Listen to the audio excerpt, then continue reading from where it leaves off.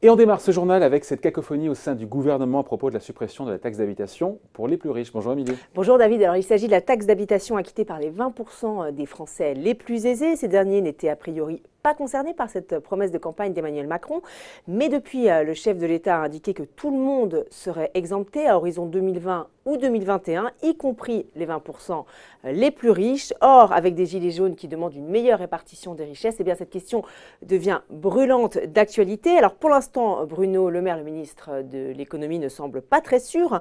Après avoir indiqué dans le grand rendez-vous européen qu'il souhaitait demander leur avis aux Français, eh bien, il semble avoir rétropédalé quelques jours plus tard, indiquant qu'il fallait aller au bout de cette suppression.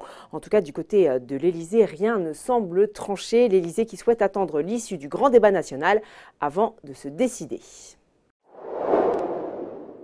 Allez, on continue à parler de fiscalité, Émilie, mais avec euh, cette fois-ci la, CSG avec des retraités qui vont devoir patienter un petit peu. Alors, petit rappel, David, pour calmer euh, la fronde des Gilets jaunes, on se rappelle qu'Emmanuel Macron avait annoncé le 10 décembre l'annulation de la hausse de CSG de 1,7 points pour les retraités ayant un revenu fiscal de référence compris entre 1200 et 2000 euros par mois. Problème, cette suppression ne pourra avoir lieu que dans six mois, nous dit Muriel Pénicaud sur RTL, et ce en raison de notre système fiscal où on ne connaît pas les revenus tout de suite. Mais cela devrait changer avec le prélèvement à la source. Le 1er juillet au plus tard, les retraités concernés devraient donc toucher un gros chèque, soit six mois de baisse de CSG.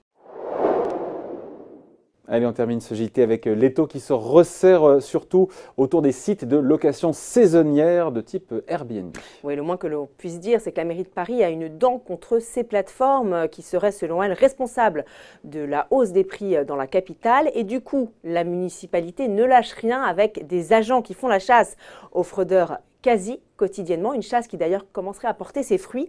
Euh, les amendes seraient passées de 1,3 million en 2017 à 2,1 millions en 2018, soit une hausse de 61,5%. Alors l'amende moyenne constatée est de 13 000 euros, mais elle a pu grimper jusqu'à 50 000 euros. Euh, certains n'ont tout simplement pas respecté la règle de durée légale de location, d'autres ont omis de demander un numéro d'enregistrement auprès de la mairie. Et puis à noter qu'avec la loi Elan qui vient d'entrer en vigueur, eh bien, la chasse aux fraudeurs devrait se poursuivre en 2019. Euh, les plateformes ont désormais l'obligation de transmettre les revenus dégagés par les loueurs à l'administration fiscale. Merci Émilie pour ce journal. Merci David, rendez-vous le mois prochain.